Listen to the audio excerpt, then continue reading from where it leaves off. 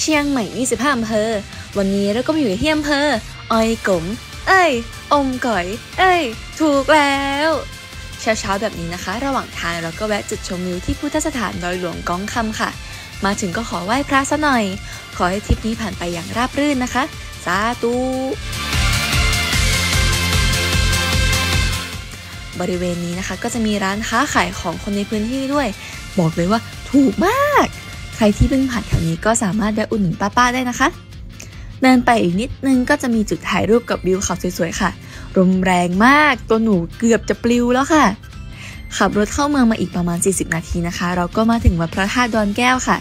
ที่วัดนี้นะคะก็จะมีทางขึ้นเป็นปูนปั้น เป็นรูปพญานาคสองตนขนาบข้างบันไดค่ะ ดูสวยงามมากเลยค่ะ ระยะทางเดินขึ้นบันไดก็ถือว่าก็ไม่ไกลมากนักค่ะไม่กี่ขั้นก็ถึงบริเวณลานกว้างแล้ว ด้านบนก็มีพระธาตุสีทองสวยงามมากเลยค่ะ ข้างบนนี้นะคะก็จะมีดอกไม้อยู่เต็มบริเวณเลยอ๋อแล้วก็ที่นี่อากาศดีมากๆเลยค่ะ ลมเย็นๆสบายๆค่ะ แล้วก็มีผีเสื้อบินปลิวว่อนเลยบินปลิวว่อนผีเสื้อบินว่อนเลยค่ะ